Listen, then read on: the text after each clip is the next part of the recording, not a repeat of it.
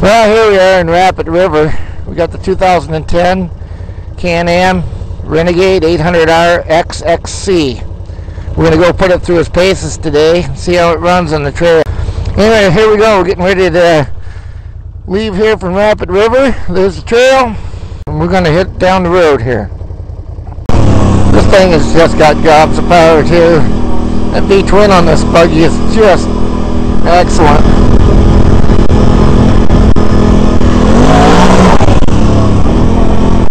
Can-Am says that this machine's got 71 horsepower right from the factory. Got plenty of horsepower to lift the wheels off the ground. Plenty. Makes it nice going over these bumps.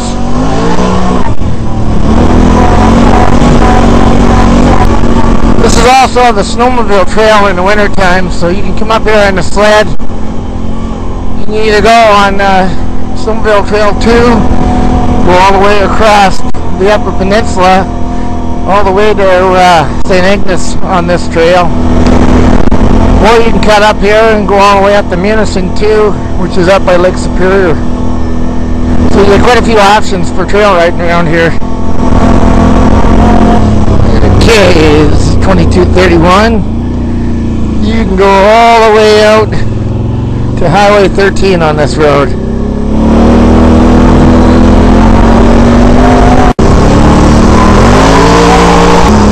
I wonder where this road goes.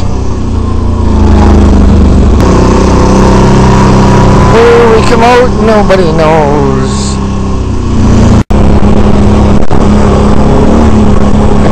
Isn't this gorgeous out here?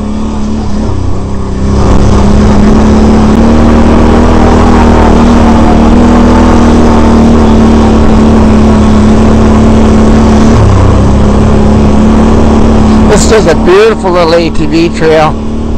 There's absolutely no traffic out here at all. This trail is all mine. We're going to look for a section to be able to cut down and hit the road and go down around.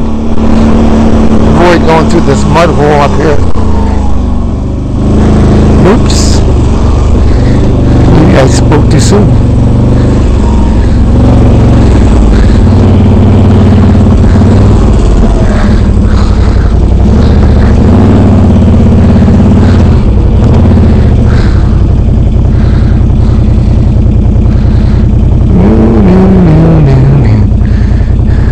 What to do?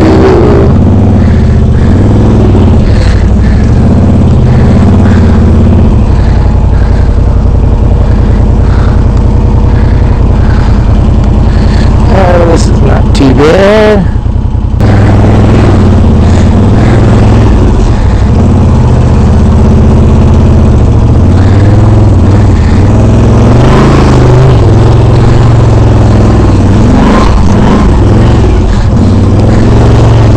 Sometimes just taking it easy through those mud holes a lot easier to do than gunning it too much. A lot of dirt roads that you can legally run on up here. Makes it kind of nice. Here we are, junction 2231. Here we go. We're in the corner of 2235, going to 2231, going to the ATV trail.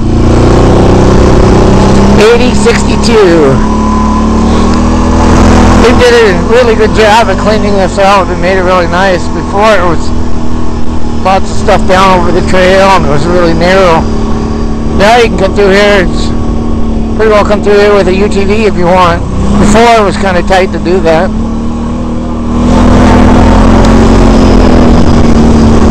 This power steering on this uh, Can-Am Renegade 800R XXC is just awesome.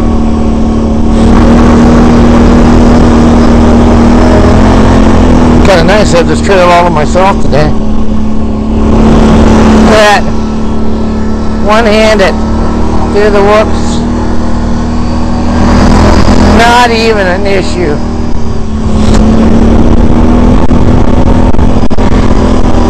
Trees are starting to turn nice.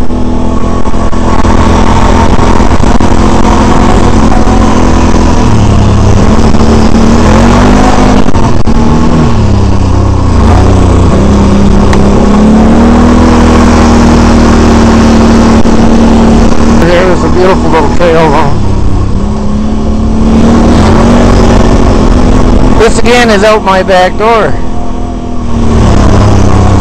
I can come down and ride this trail. It's about probably 20 minutes from my house to get here.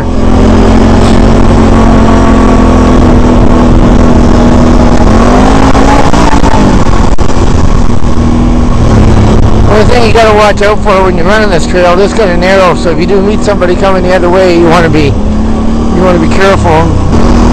Yeah, this is a cool trail.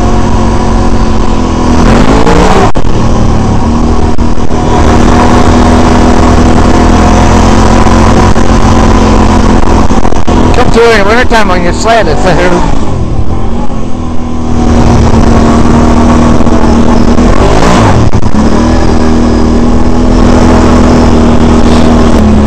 nice little spot up here. Little trail along there. It's probably some old camp back there. This is in the Hiawatha Forest, so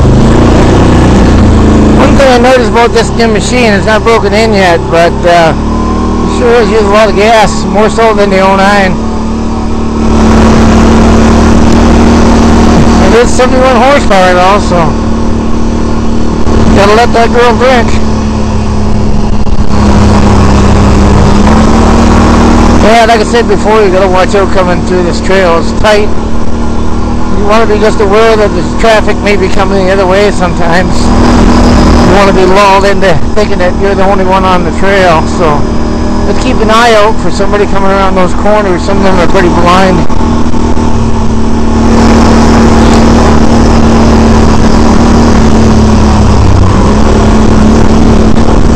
I come through here with my Yamaha Raptor and boy I tell you the ride on the Can-Am is so much nicer.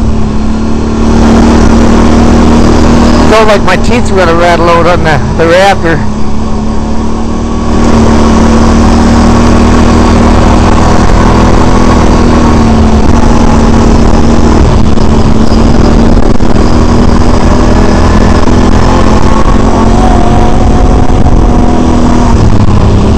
if you really can tell the difference uh, sway bar versus no sway bar in this machine.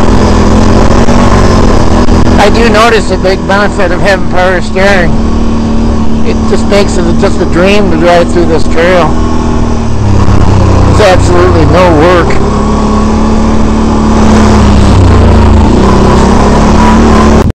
Using the Vail POV 1.5 camera today on the helmet It takes some pretty nice helmet shots. It's uh, leaves your hands free to be able to drive, and just a really nice quality helmet cam.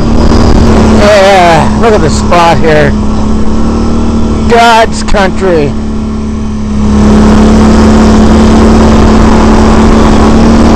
Look at those leaves.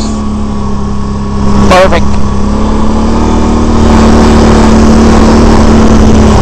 And as my buddy Dennis Fitzgerald from Constance, Ontario would say, perfect. Perfect, Patty. And here we are back on 2231 again. Go down a little ways, you go towards Ryan's camp.